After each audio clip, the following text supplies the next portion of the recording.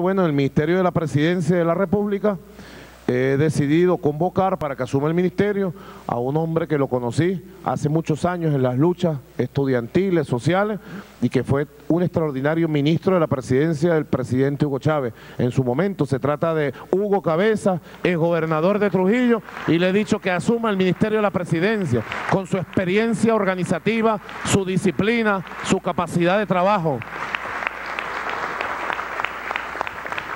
Igual.